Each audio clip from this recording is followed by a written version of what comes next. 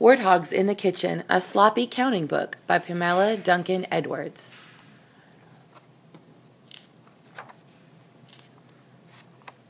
One, one little chef thinks he'll cook today. Two, two clean hooves, all the germs washed away. I want to help, I won't make a mess.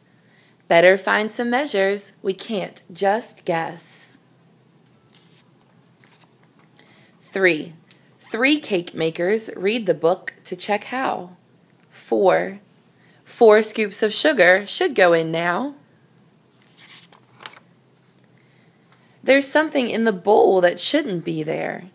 Get out this instant, you greedy little bear.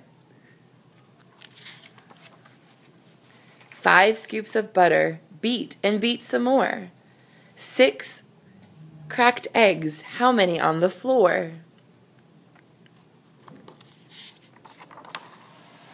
I found a jar of pickles. Should pickles go in too? Pickles in the cupcakes? Well, perhaps just a few. Seven scoops of flour should make the mixture just right.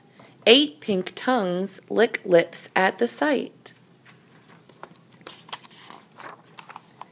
Put them in the cupcake pans, let's each have a turn. Pop them in the oven, don't let them burn. Nine minutes cooking and our cakes will be ready.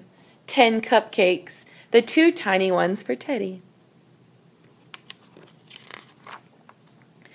Zero cakes left. They're down in each tummy. We're excellent cooks. Those cupcakes were yummy.